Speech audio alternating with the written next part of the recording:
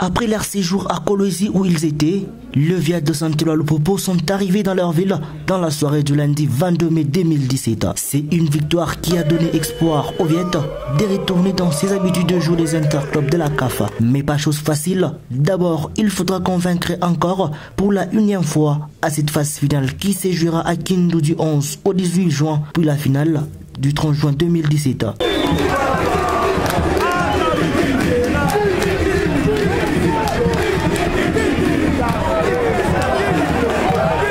De Korosi où ils étaient jusqu'à Lubumbashi, tous joueurs étaient tout joyeux.